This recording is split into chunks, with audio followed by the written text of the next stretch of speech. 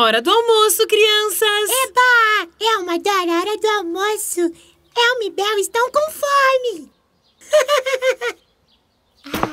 Oh! Essa não, meu almoço já era.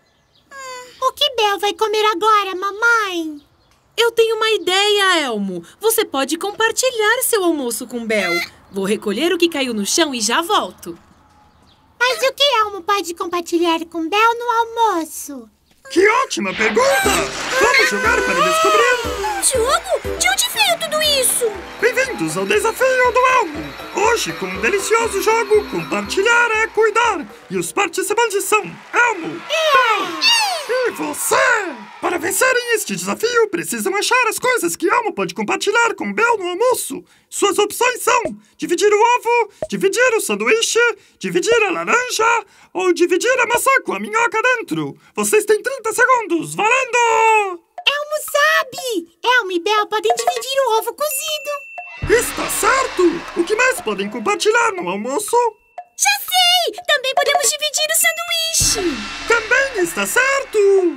Hum, Elmo adora maçã. Seria bom dividir. Mas, Elmo, não podemos dividir a maçã. Tem uma minhoca dentro. Bel está certa. Você pode ajudar Elmo a encontrar mais alguma coisa para compartilhar com Bel? Sim! Elmo pode dividir essa laranja suculenta. Todas as coisas que podem compartilhar no almoço! Obrigado por jogarem este jogo delicioso comigo, seu velho amigo Grover! Olha, mamãe, Elmo compartilhou o almoço com Bel. É como minha mãe sempre diz: compartilhar é cuidar e faz todo mundo feliz. Eu tenho também algo para compartilhar: bananas! Espere, é assim